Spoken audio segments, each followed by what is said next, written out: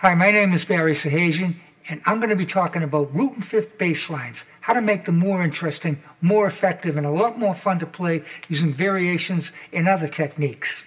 Let's get started right now. As simple as a root and fifth bass line is, there are ways you can make it sound more interesting by using variations. You have a limited amount of variations you can use, but nevertheless, you should be able to take advantage of everything that is available. And I see that a lot of people don't. I teach a lot of students, they're uh, in awe when they realize there's so much more that you can do with a root and fifth, uh, aside from just a standard.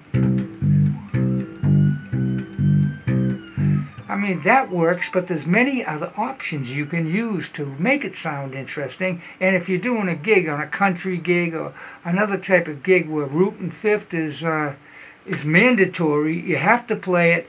You have no other option because if you don't play, you start to put in fills and trying to make it interesting, you'll get fired off the band and you'll lose the gig. Let's explore some of the options.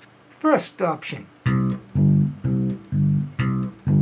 down to the fifth. Root down to the fifth. In this case, C to a G. Now let's go up to the fifth.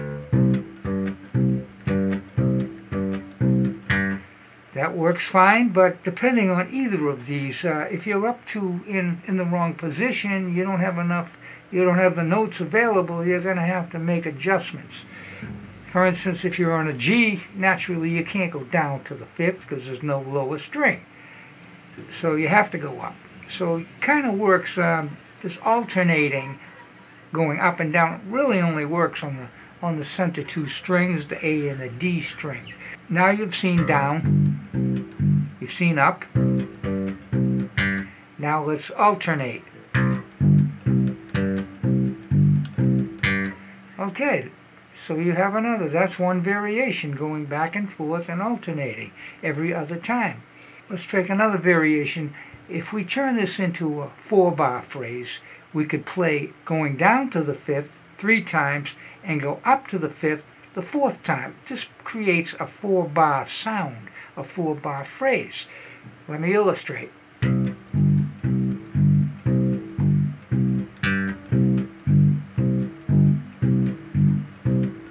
little more interesting, it holds your uh, attention for full four measures. Now let's take it and reverse it. We'll go up three times and down once.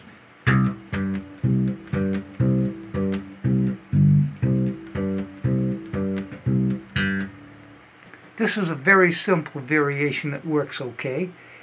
And what you do is you play a root, a fifth, and then you play a fifth, which replaces the root you would have played there, and then up to the fifth again and it sounds great. No one's going to notice. It will still follow your root and fifth on the first and third beat although it'll give it'll just give a little something different for the ear to notice that hey I'm here. I'm doing something different.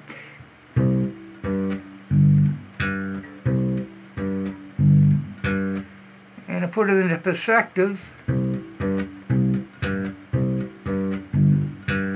turn it into a four bar phrase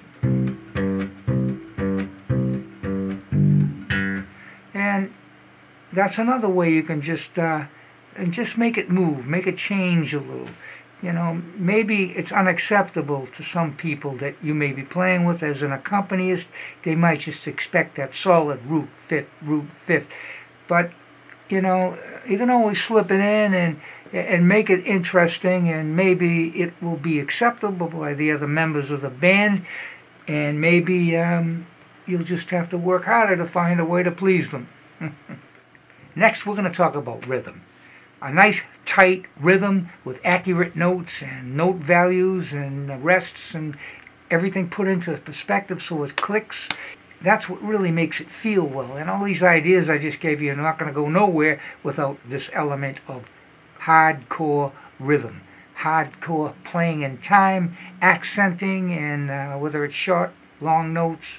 So anyhow, let's start out with just making sure that we are playing a quarter note and it stops right on the second beat.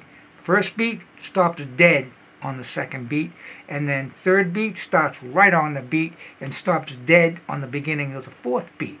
So you want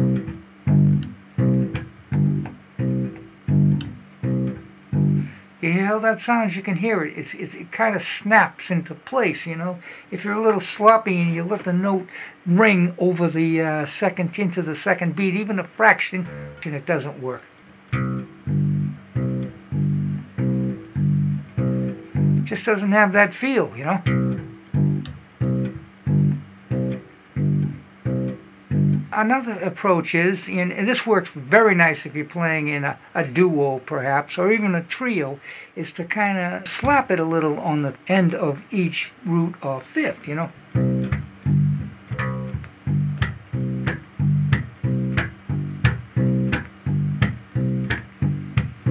Now you're sort of taking the place of a drummer if you are playing in a duo or reinforcing what's going on with the drummer. Maybe the drummer isn't the uh, most uh, accurate in his time, and you can give him a little boost if you want by doing that. And I think it really it makes it move. You know what I mean? Especially, most likely, I'm figuring you might be playing dance music, and that's very important. You got to have that feel. You want to make them get up and want to dance. You know.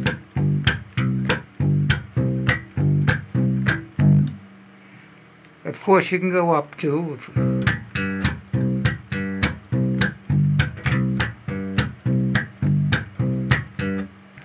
Uh, that goes across the board in all styles of music. You know, I mean, articulate note values and time, and you know. But since we're talking about root and fifth, I want to point out the importance of doing that as well.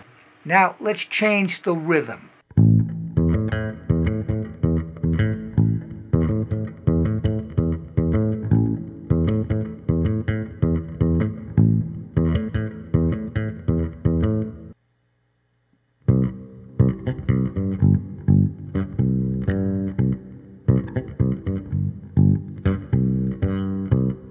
If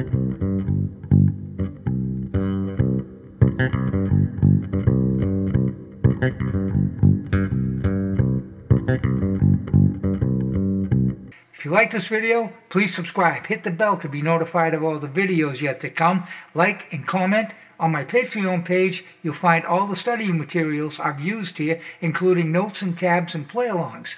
Thank you for stopping by, and I hope to see you again.